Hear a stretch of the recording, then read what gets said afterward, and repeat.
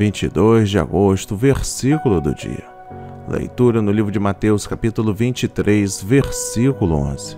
E a palavra diz: Mas o maior dentre vós será vosso servo. Amém. E graças a Deus. Meditando e aprendendo com o versículo do dia.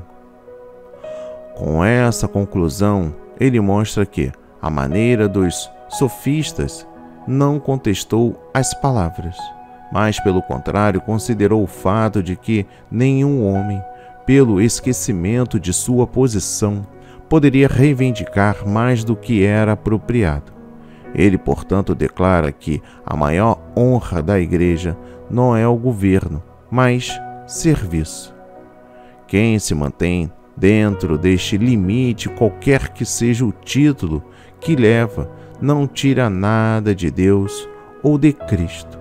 Como, por outro lado, não serve de bom propósito tomar o nome de um servo como objetivo de encobrir esse poder que diminuiu a autoridade de Cristo como mestre.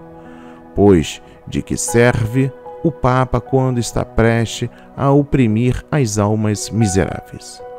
Pelas leis tirânicas começa por se nomear servo dos servos de Deus, mas insultar a Deus abertamente e praticar zombaria vergonhosa nos homens?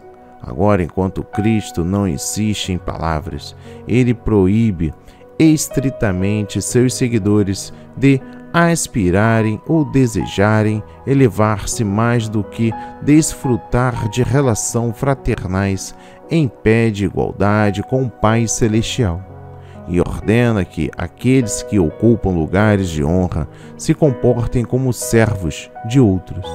Ele acrescenta aquela declaração notável que já foi explicada: aquele que se humilhar será exaltado.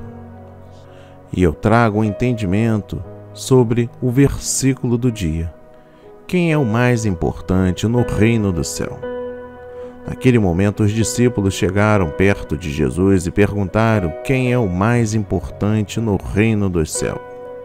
Jesus chamou uma criança, colocou-a na frente deles e disse: Afirma a vocês que isso é verdade.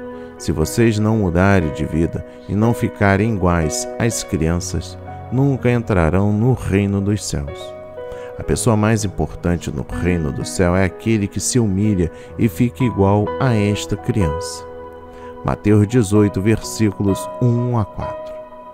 Então Jesus chamou todos para perto de si e disse: Como vocês sabem, os governadores dos povos pagãos têm autoridade sobre eles, e poderosos mandam neles. Mas entre vocês não pode ser assim.